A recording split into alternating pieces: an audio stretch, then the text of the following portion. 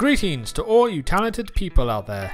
Today, I want to quickly show you just how easy it can be to create some simple flat body designs. I went ahead and pre-made the head already, so we can go straight in and focus more on creating the different body shapes for our designs. These designs may look pretty basic, but it will help you understand just how simple it can be when it comes to designing your own characters at a beginner's level. One thing to keep in mind is the importance of your creativity. Have fun with the concepts and try to think outside the box when using the various geometric shapes when creating. Remember, the more exaggeration, the more impact you'll bring to your designs. Treat your designs like a toy box and see what you can create from what you discover from within.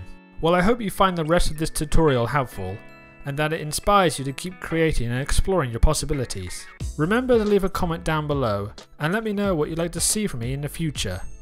Please also consider subscribing for more great content heading your way. You can also check me out on social media to see what I'm working on behind the scenes. Take care everyone and I will see you next time.